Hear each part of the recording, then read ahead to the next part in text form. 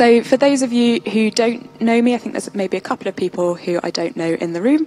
My name's Charissa. I have been here at City Church for about five and a half years, and I still love it just as much as when I started.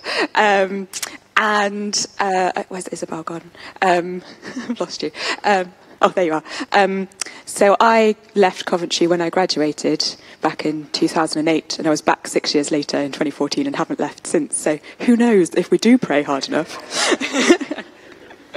um, so today I am preaching on 1 Peter chapter 3, verses 18 to 22 but we won't be getting there for a while. so instead, we're going to zoom out and we're going to look at the big picture of the whole letter. We've been at this for 17 weeks now, and we've got seven more weeks to go. So I thought it would be useful to zoom out and see the bigger picture, try and connect some of the dots of the wonderful sermons that we've listened to, and also because the process by which I've come to the points I want to say about 1 Peter 3, verses 18 to 22, required me to look at the big picture of the letter often, again and again and again, because I'll be honest, I struggled initially to work out what on earth Peter was trying to say at that stage of the letter. And I think once you see the big picture, it makes a lot more sense. So, I want us to think about Peter's big question and how he answers it. And my sense, having read the letter many times now, is that the question that he is trying to answer is how do we live in a potentially hostile world? How do we live in a potentially hostile world? And a number of the letters in the New Testament deal with multiple issues in one letter. Peter doesn't do that. From word one to the final word, he's answering the same question he, th- this, is, this is very much a whole. And I think many of us may have noticed that there's this feeling of, of almost repetition in the things that we're hearing week on week. But that's because we're chunking up one message, essentially. It's, it's one idea, one thought, and we're looking at it in, in little mini chunks. So, let's think about how he answers the question of how, we, how do we live in a potentially hostile world. So, first of all, I wanted to, to think a little bit about what influences his, his answer to the question. So, clearly, like all authors of Scripture and the prophets he talks about in chapter 1, he has listened to and inquired of the Spirit of Christ in him. This is a co authored letter. This is a letter from God to us. It's also a letter from Peter to us. And what he does, um, I think, is very similar to what God does in Jeremiah. Um, let me just flick to that.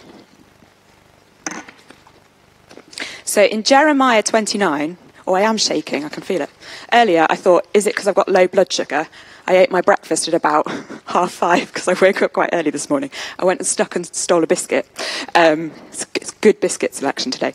Um, so, um, I think what what Peter and what God is doing here um, in 1 Peter is very similar to what God does in chapter 29 of Jeremiah, where uh, Jeremiah sends a letter from God to the people in exile.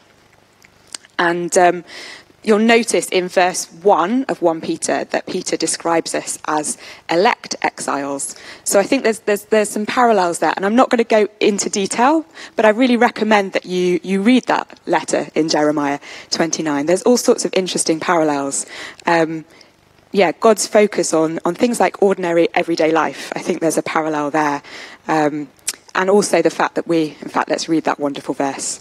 Uh, for I know the plans I have for you, declares the Lord plans to prosper you and not to harm you, plans to give you hope and a future. I think that's the heart of both of those letters. Uh, he also, Peter also draws on Jesus' teaching. There are lots of parallels with sections in the Sermon of the Mount you may have noticed that a number of our preachers have quoted from the Sermon the on the Mount, particularly uh, the Beatitudes, but also elsewhere. Uh, he also draws on scripture, so he directly quotes the Old Testament. We get Leviticus, Isaiah, the Psalms, and we also get stories from the Old Testament. Uh, we see Noah and Sarah and so on. So he's very much going to the scriptures in order to answer the question of how do we live in this potentially hostile world. And then also he draws on his own experiences of seeing firsthand Jesus' own suffering and no doubt his own experiences too, which we get to see a little of in Acts. So, how does he begin? He begins with this idea of exile. Um, exile usually means that we're not in the culture of our birth or the culture that we see as home. And essentially, the culture around us is not our natural habitat. There are different values to those that we're used to, um, allegiances are different. And, and for us, why is this culture not our home? Well, it's because we've been born again. We have a different country of birth. And it's not this present age. We're looking forward to a new heavens, a new earth that, we, that will be our homeland. It's also no longer our home because we have been called out of darkness into light. Peter tells us that. And he also tells us that we've been ransomed from the futile way of life that characterizes the world around us. So, we are not the same kind of human. We've been born again. We're spiritually alive. And we are people of light in a dark world. And we are people who, who do live an entirely different life. Even when we're doing something as simple as being a husband or a wife or an employee, we are fundamentally living an entirely different way of life.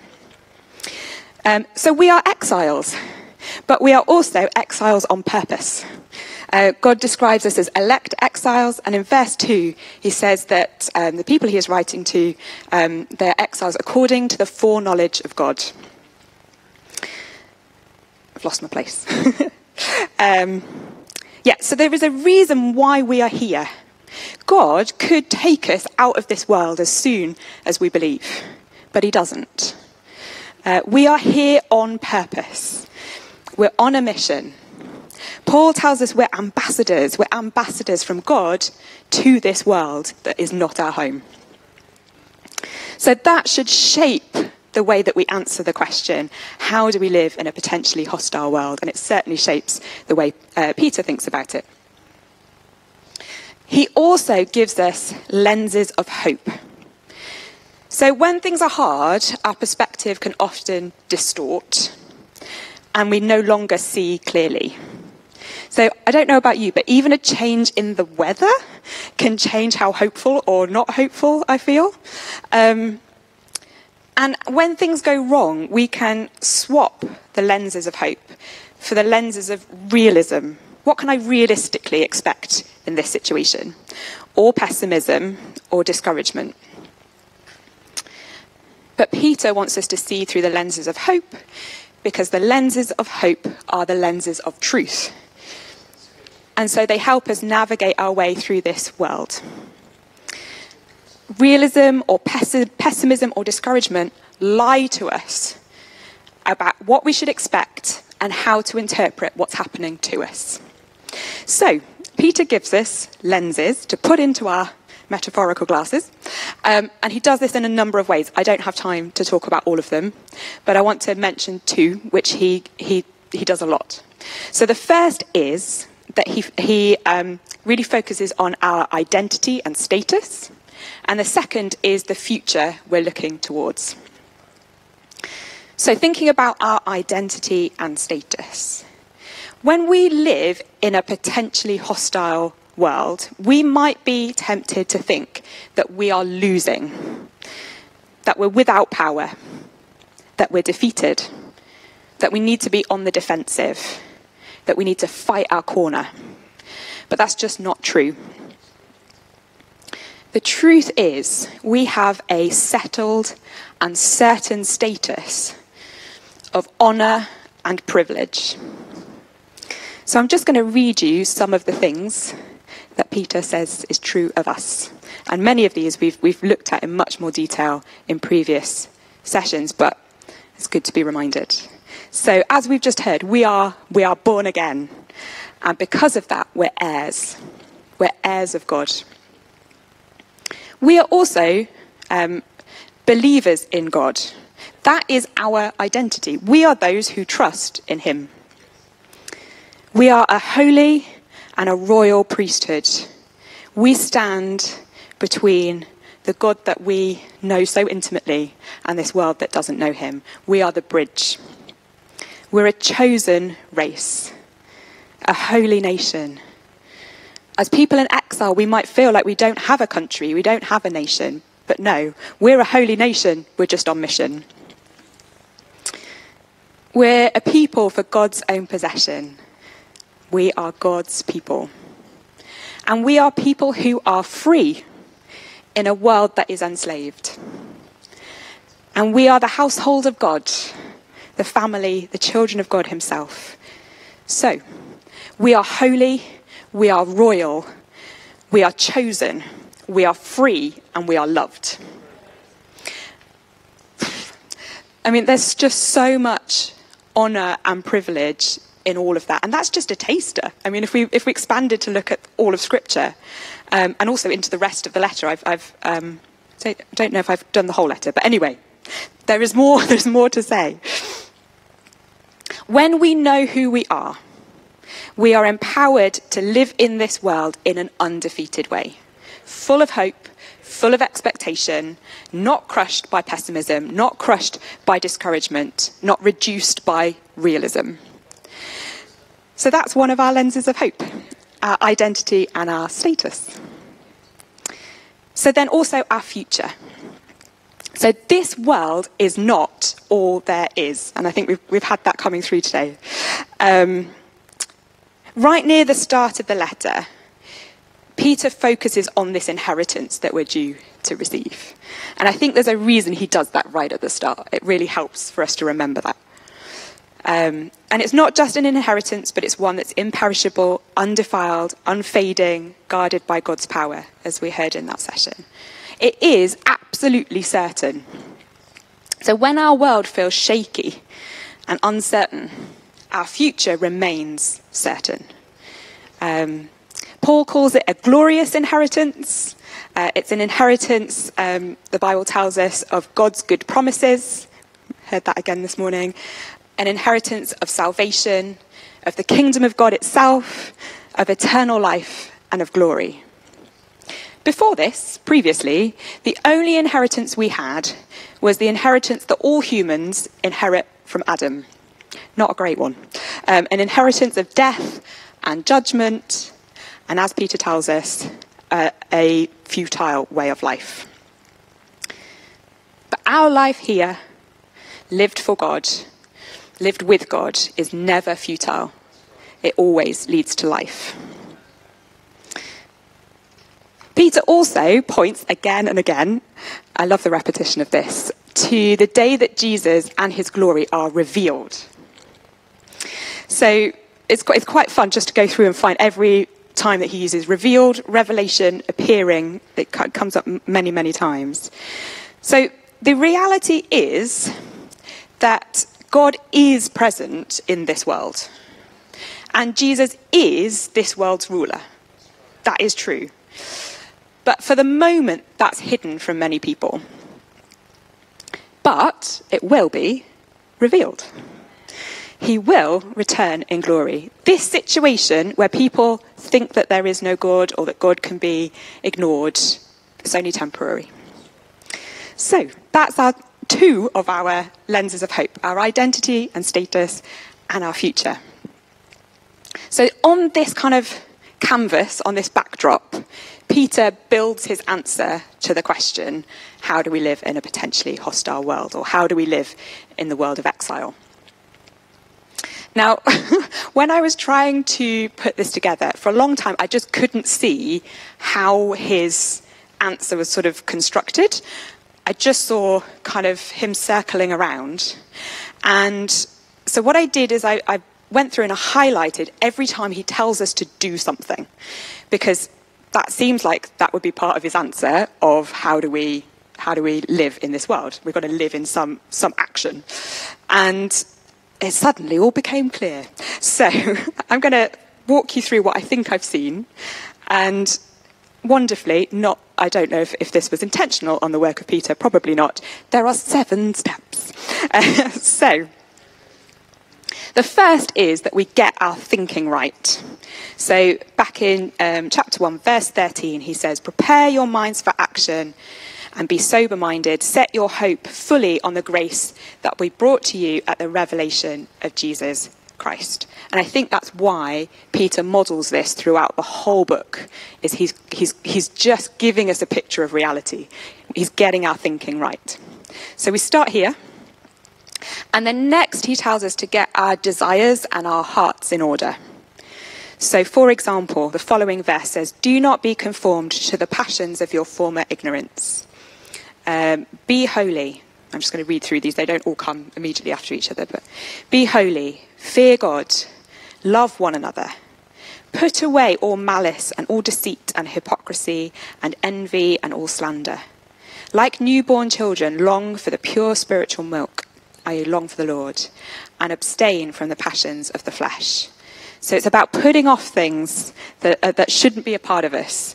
It's about um, making priority the things that should be priority, seeking after the Lord and fearing Him. So we get our thinking right, we get our, our hearts, our desires right. Um, and then he tells us to do good. And I think we've seen that throughout many of these sessions that there's an emphasis on doing good. But it comes from a place of knowing who we are. And um, yeah, it's, it's not a striving kind of a doing good. And what I love is that the doing good boils down to be a good citizen, be a good brother or sister in Christ, be a good employee, be a good husband, be a good wife. Um, and I think this is a nice little summary in chapter 2, verse 12. Keep your conduct among the Gentiles honourable. It's so wonderfully low key. It's what we're doing every day, but done in service of God. It's, it's not flashy, it's, it's quite humble, but that is what it means to live uh, a life in service to God. Okay, so we've got our thinking right, we've got our desires right, we're, we're now living out our relationships with other people in a way that's influenced by that. Um, and then he tells us not to give up doing good if we suffer for it. Um, so, for example, our um, the, sec- se- the, section on being a servant, he says, Be subject to your masters with all respect, not only to the good and gentle, but also to the unjust. And the reason that we don't give up doing good if we suffer for it is because we are on a mission. We're here to serve God. So um, we could stop there. You think, okay, well done, Peter. You've, you've told us to kind of get our heads and hearts right and do some good and keep at it and not give up. Sounds great. Um, but he, he, he takes us further. So he then says, also do not retaliate. Do not repay evil for evil or reviling for reviling. And I think we really do hear the Sermon of the Mount here and the Beatitudes and other parts of Jesus' teaching. Um, and, and just Jesus' own example, is he, he makes that connection. So it's not just that we don't give up doing good, but we also have an attitude where we don't retaliate. But even more than that, Peter says that we should not just um, uh, prevent ourselves from retaliating, we should intentionally bless those who are causing us to suffer. Um, and he points to our calling here and our expectation that we will receive a blessing for doing blessing to those who, who are hostile to us. And then finally, we kind of get to the ta da, uh, which is the okay, so now be ready to give an answer to the people who say, so, why are you blessing that person who's awful to you? Why are you persisting to do good when it costs you so much? Like, what? Are you mad? Um, then, yeah, we're prepared to give an answer. And that is actually us having the, the perfect opportunity to be that ambassador. So, to, to live out that very purpose for why we are exiles on purpose. And so that's his kind of seven steps. And it leads us up to the passage that I've been given to preach. But before I move on to that, he also, as he goes through each of these commands, he also has a number of so that statements. Do all of this so that. So I'm just going to read you those. So do all of this so that the tested genuineness of your faith may be found to result in praise and glory and honour at the revelation of Jesus, so that you may grow up into salvation, that people may see your good deeds and glorify God on the day of visitation, to put to silence the ignorance of foolish people, so that those who revile your good behaviour in Christ may be put to shame. This one's just for wives. And if some husbands do not obey the word, they may be won without a word by the conduct of their wives. So that your prayers may not be hindered, and so that you may obtain a blessing.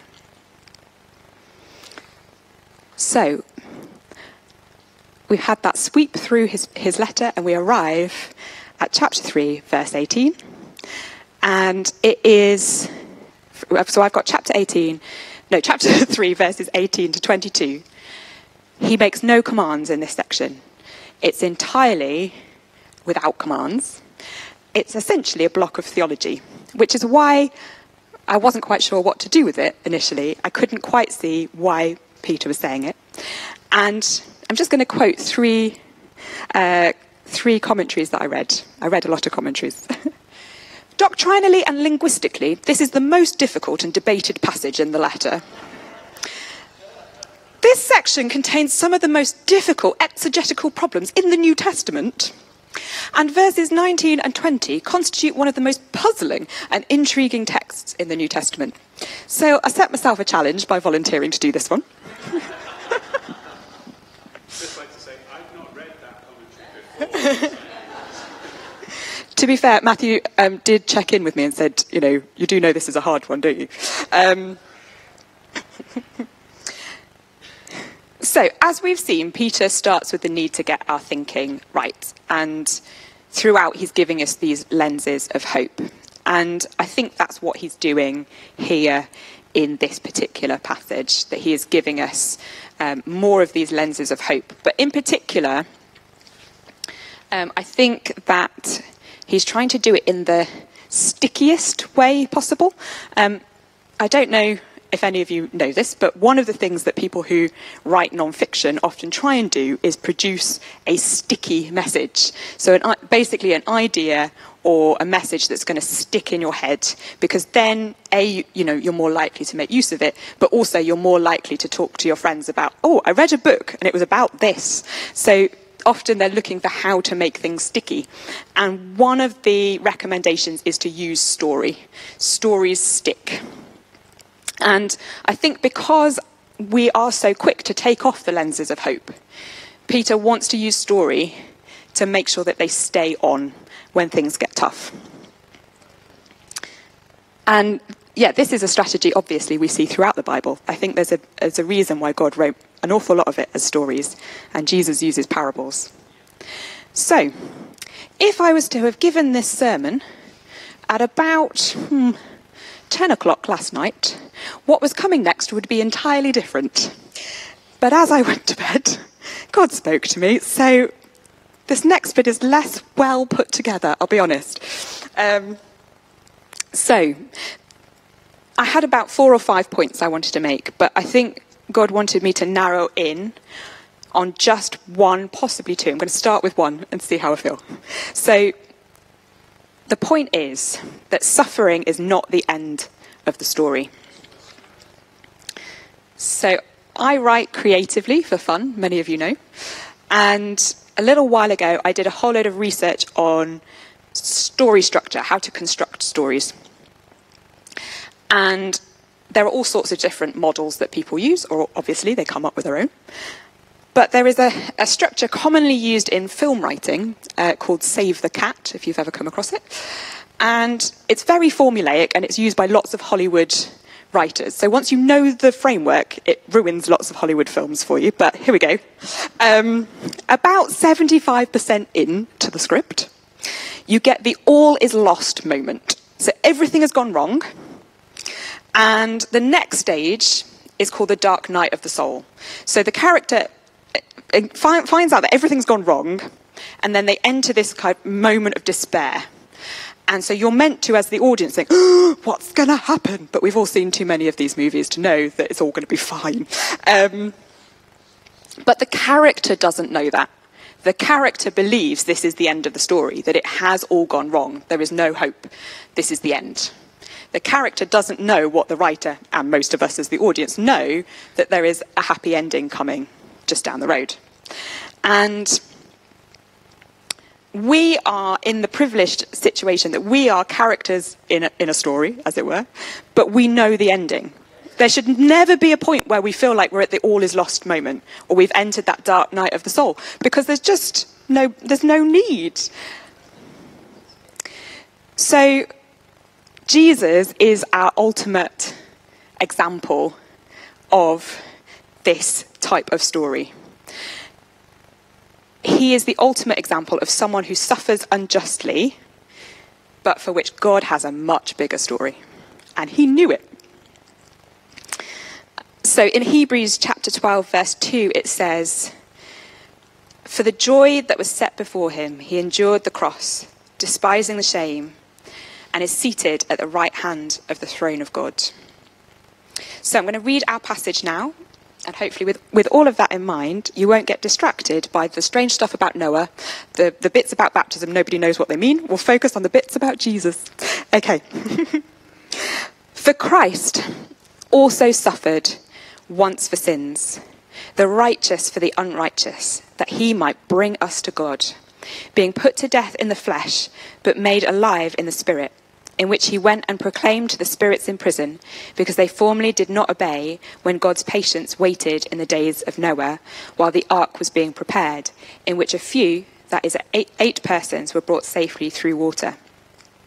Baptism, which corresponds to this, now saves you, not as a removal of dirt from the body, but as an appeal to God for a good conscience through the resurrection of Jesus Christ, who has gone into heaven and is at the right hand of God with angels, authorities, and powers having been subjected to him. So I guess I probably should address some of the weird stuff in the middle. Uh, so the bit where we've got Jesus going to um, proclaim to the spirits in prison genuinely there is not consensus on what this means. Um, and as those commentators have said, it's a bit puzzling. Um, but there are some options. So maybe Jesus is proclaiming his victory to the fallen angels of Genesis 6, uh, verses 1 to 4. Maybe he's proclaiming his victory to the spirits of people who died prior to the flood, perhaps offering them a chance to respond to the gospel feels a bit maybe that doesn't fit with the rest of the New Testament. Um, that this is a looking back to Noah's time, and Jesus was sort of in Noah spiritually and preached the people through Noah. No one really quite knows. But I think, in terms of looking at where this is positioned in the flow of this text, I think it's there to try and show us that Jesus was victorious in his suffering and death. I think this is a victorious proclaiming of good news and victory. I did not stay dead, guys. I have won. It was not the end of the story. And if it is to spirits, you thought you'd won, but you have not. Whatever Satan was trying to achieve, he hasn't achieved it, a, a tiny drop of it. So, Jesus he went through that suffering for purpose. And I think if we go back to verse 17, uh, for it is better to suffer for good, if that should be God's will, than for doing evil. We can be sure that this really was God's will.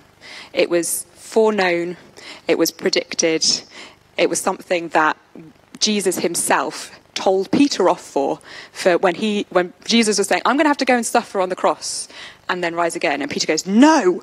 And Jesus has to pull him aside and say, Get behind me, Satan. so there is a sense in which this is very much the will of God. And the purpose, wonderfully, is for our salvation and to bring us to God. And when we suffer for doing good, It's part of our mission that connects with Jesus' mission. So I imagine that um, when Peter was suffering for doing good, and he did, for example, when he and John were um, going to the temple and the lame beggar was healed, the response of the authorities was to throw them in prison. So he certainly knew what it was to suffer for doing good. I imagine that what he did is he thought about Jesus. He thought about the Saviour who had gone ahead of him into suffering and had come out the other side. And where is Jesus now? He is in heaven at the right hand of God with angels, authorities, and powers having been subjected to him.